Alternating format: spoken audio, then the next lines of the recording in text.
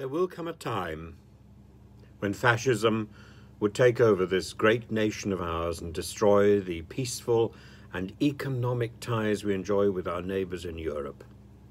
They will come armed with their silver tongues and promising the earth. Be extremely vigilant.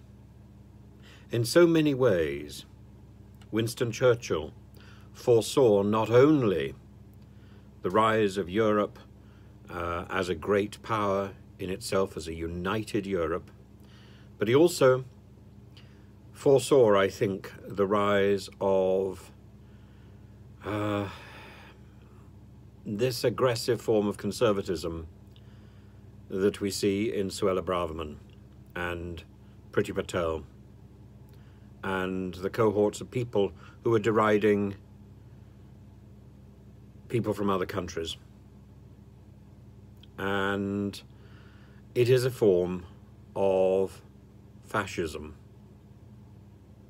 We saw the other day a holding centre which was fast resembling a concentration camp.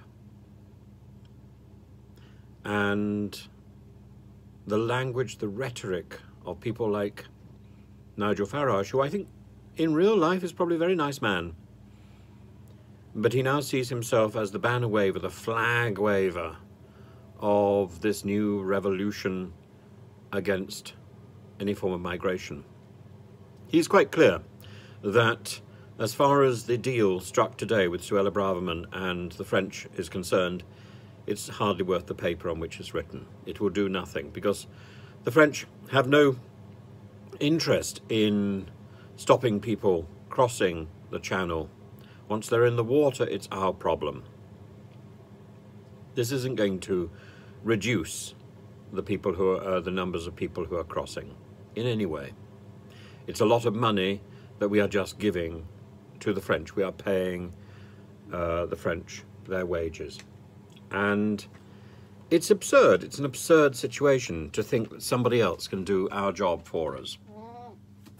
The only way to solve this problem is to make it very clear who is and who is not illegal, and the only way to do that is to do the paperwork and to do it speedily. And to have a backlog which goes back to 2007, at least, is simply heinous. It's irresponsible. Uh, I think it borders on the criminal. It's a dereliction of duty. It's negligence. And it doesn't stop there. It doesn't stop with processing people from abroad.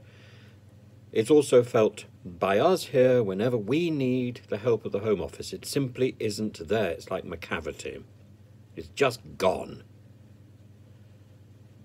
And it's presided over, the Home Office is presided over by um, a litany of hand wringing wretches who point the finger, if they can get it out of their clenched fists, uh, who point the finger across the channel at people who are coming over in boats. It's like having um, Alex Belfield in the Home Office. It is disgusting. It is disgusting. And someone pointed out to me, someone sent me a photograph, and I'm really, I, am really impressed. Someone sent me a photograph today uh, of the statue of Churchill, which Farage uh, bemoaned this evening. I mean, it, once that record player starts starts spinning, Farage doesn't stop. He bemoaned this evening how the statue of Churchill was desecrated by those people marching through London on Saturday, by the Albanians. Desecrated with an Albanian flag. I see it as a mark of honour and respect. He sees it as desecration. And all he has to do is think back a few years to the desecration of Churchill's statue by a um, flag for Brexit now. Brexit now. I mean, I wonder if, I wonder if Churchill would have approved of Brexit at all. This was a man who was promoting alliances, alliances against communism, alliances between us and Europe. This was a man who had given his life to defending Europe Twice. World War One and World War Two. I, I, I think someone is turning a blind eye. And, you know, Mr. Farage may be perfectly pleasant in real life. But the campaigns he is mounting are grotesque. I, I, I would love to challenge him. I would love to ask him, what have we achieved in this Brexit that you encouraged? What have we achieved in this Brexit daubed over Churchill's statue? What have we achieved? What have we achieved? In all this effort, all this effort, for what? And what are you doing, Mr. Farage, to make it work? What are you doing? That's the bigger question. You ushered in this revolution, this change. And what are you doing? You're sitting on your backside in a television station, taking pints with buddies and chewing the cud. Shouldn't you be taking responsibility of this? You should take a seat in the House of Lords at the very least and be answerable, be held to account for what you ushered in.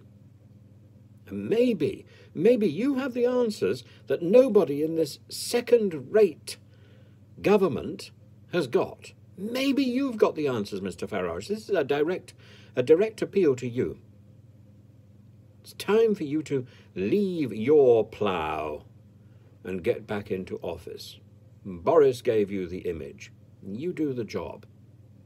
I'm sure you'll do it better than many other people. But it's time to stop idling and drinking pints, Farage, and get down to the real work and take responsibility for what you encouraged.